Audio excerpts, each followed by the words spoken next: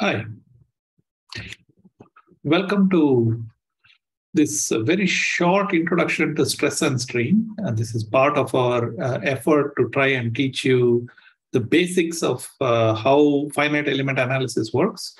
So we're going to focus on some basic understanding uh, with the idea that uh, we will uh, we will learn enough to be able to do a reasonable finite element, an element analysis of certain components. So there are two items that one thing is we're always looking at some kind of force distributions and so on. So intensity, force intensity is what matters, uh, not the absolute value of force. So in order to do this particular course, you need to have some familiarity with vector algebra and multivariable calculus and a bit of information about strength of materials.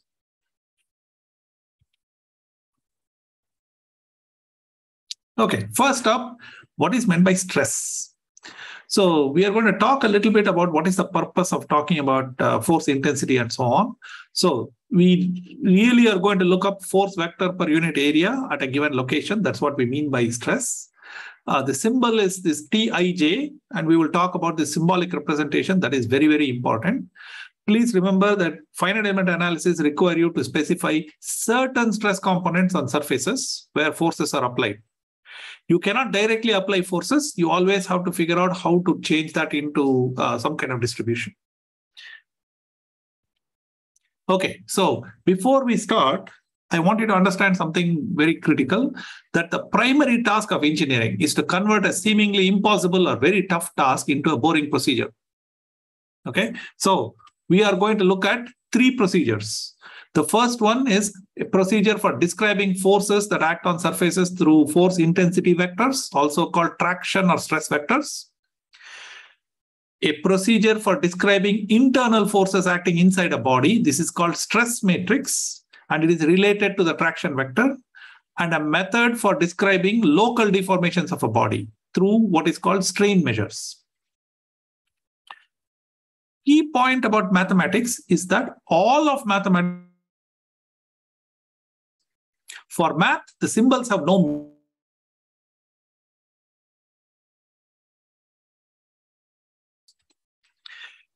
it is we who have to provide the meaning. So all of engineering uses math for logic and people with experience for meaning. If you don't know what a particular emoji means, you cannot interpret the sentence or the sentiment being expressed, right? Same way, if you do not know what a particular math emoji, what a symbol means, and how to interpret it, you will not be able to understand what the math is trying to tell you. Okay, so now there is a deep analogy between mechanics, electrical circuits, and thermal circuits. The key point is that force distribution should be thought of like a current. They flow through a body. And force equilibrium is the same of as Kirchhoff's current law, KCL. Sum of all the currents at a node has to be zero. Same way, sum of all the forces at a node has to be zero. That is what is used. So force distributions are shown like vectors like we show here. And places where force distributions accumulate are reason or regions of likely failure. So this force distribution is very, very critical. Okay. Now, this analogy goes quite a bit deeper. I will just list the basic items. Um, so, for forces, the, the electrical analogy is current and the thermal analogy is heat flux. Displacements, the electrical analogy is voltage. So voltage differences, it's across variable. You know, you talk about voltage across, like that, we talk about displacement across. And same way, temperature difference, that is what voltage looks like. Uh, springs are like capacitors or heat sinks or sources. Masses are like electrical inductors. Dashpots are like electrical resistors and thermal conductors. Okay, so this just gives you a quick analogy. We are not going to use this very heavily, but it is important to realize, and there is an underlying reason in physics why these analogies work out so well.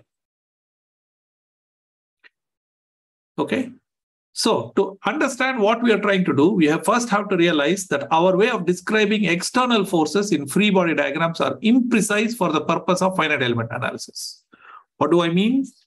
Just showing forces is not enough for finite element analysis. You need to describe how it is distributed.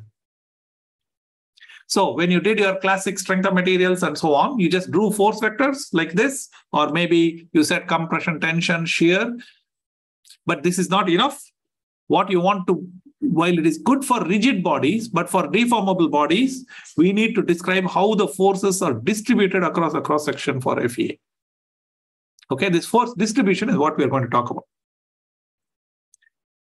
Okay, and this actually matters uh, for the purpose of thinking about how these forces cause failure so when whether we are able to cut something or break it or something depends not just upon how much force we apply, but how much it is distributed. I mean, we know that it's pretty easy to cut butter with a knife, but try and cutting it, try and cut it with the blunt end of a spoon. It will be much, much harder. Right. So same way, a water jet cutter, and some of you may be familiar with it uh, in your uh, engineering, uh, you know, in your engineering lab, uh, has much less total force than a fire hose but it can cut through steel because its force intensity is more. So what matters for deformation and failure is force intensity, and this is force vector divided by per unit area of a surface. This is what we need to describe the exposed surface of a body that you're going to analyze. Okay, so this is where we are going to head. Our next major topic is to talk about how this is done force intensity vector on surface is technically called stress or traction vector. So people are very casual about it and they'll just say stress, but you have to understand that you have to be very careful. There is a stress matrix, there's a stress vector, so there's a stress component. You have to know what each of these things are.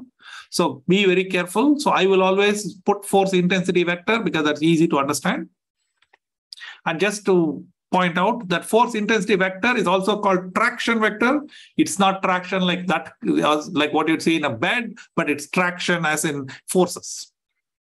Okay, so traction vector or force intensity vector is force vector divided by unit area.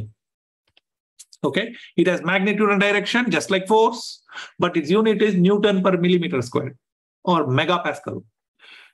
I know that many of you are comfortable with using uh, Newton per meter squared and try to convert everything to Newton per meter squared. This is a very bad idea. Uh, in engineering and all your SolidWorks and all FEA, um, try it because all your lengths will be in millimeters and your forces should be in Newton per millimeter squared. So the unit in the engineering unit is megapascal or KSI. That is kilo pound per square inch.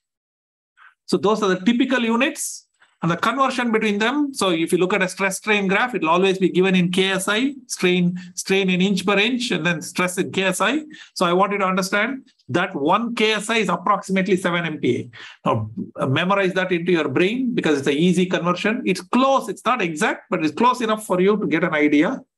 And most of the forces, most of the force intensities are in the range of about uh, 30 to 60 KSI, it's about 200 to 400 megapascals. So you can see that uh, there are two graphs here, one for steel, one for aluminum. You can see that roughly ranges in the in the range of about 20 to about 60 megapascals is where everything, uh, KSI is where everything is uh, happens. Okay, so please remember that this is the idea.